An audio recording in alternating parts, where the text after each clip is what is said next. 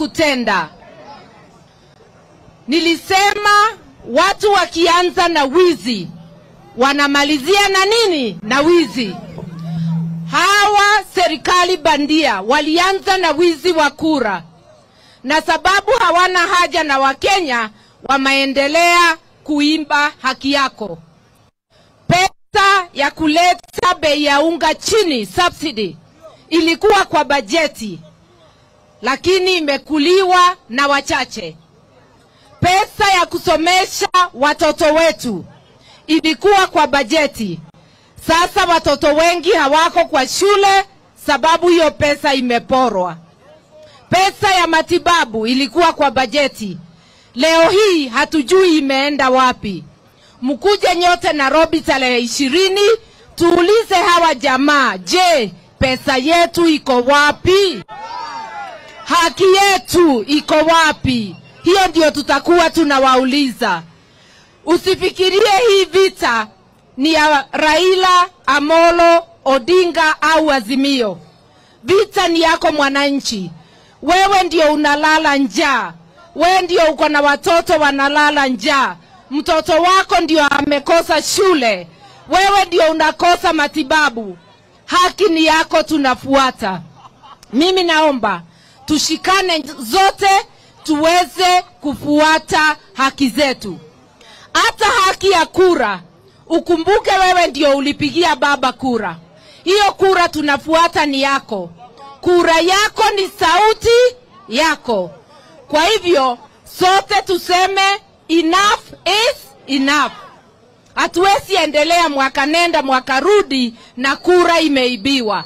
Tumeenda kotini tukakosa haki, lakini mahakama ya leo imeandika wazi mambo yote, ikikwama sauti ya mwananchi ndiyo iko juu kushinda yote. Mwananchi ndiye mwenye kupatia mahakama mamlaka. Mwananchi ndiye mwenye kupatia bunge mamlaka.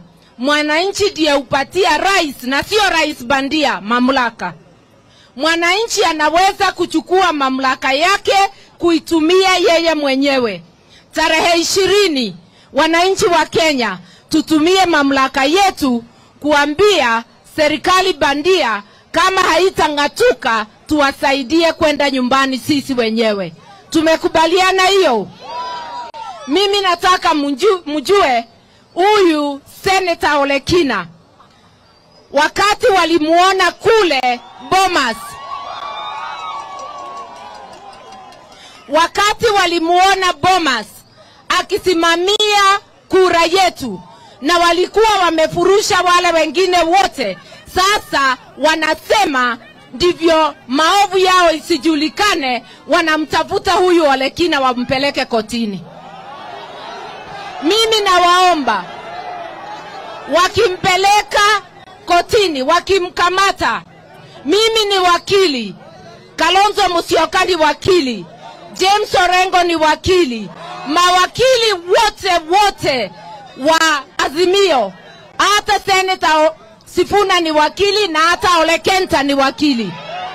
Sisi sote hata Wamalwa hapa ni wakili. Sisi wote tutafuatana kwenda kuokoa Olekina, na tunaomba Masai wote, halo, tunaomba Masai wote na Wakenya wote wa nia njema, wakishika Olekina, nyote mkuje Nairobi, ni sisi tutaenda kumtoa. Tunapatia serikali badia onyo kali, wajue hawawezi kuficha madhambi yao na kugandamiza watu ambao hawana hatia. Mimi niko na ujumbe kwa polisi wetu, kwa jeshi letu, kwa walinzi wote. Nyinyi ni ndugu na dada zetu, muko na shida kama mwananchi wa kawaida. Hakuna unga bei nafuu ya mtu wa jeshi au ya polisi. Wewe unaumia kama mwananchi, wewe mtoto wako pia anahitaji fees wewe unahitaji matibabu. Unganeni na sisi, usije ukaguse Mkenya ambaye anafuata haki yake. Katiba imeturuhusu kuandamana, wacha kutumwa ugandamize Mkenya, na ujue ukigandamiza Mkenya serikali ya Kenya isipochukulia hatua, serikali za ulimwengu zinaweza kukupeleka Hague. Ujumbe kwa Ruto na serikali yake Mbadia, wacha wa Kenya wachukue ushukani kikatiba. Sisi hatutaharibu mali ya watu. Sisi ni watu wa amani. Wacha kuweka majabazi yako kuharibu mali ya watu, ndivyo utupatie sifa baya. Tumekuwa na mikutano mingi hapa nchini, hatuja kuwa na mambo ya kugandamiza wananchi wenzetu. Tutaendelea hivyo hivyo, na tunawapatia onyo kali, usiingilie maandamano yetu, tungojee pale Ikulu, tutakusaidia kwenda Sugoi. Sasa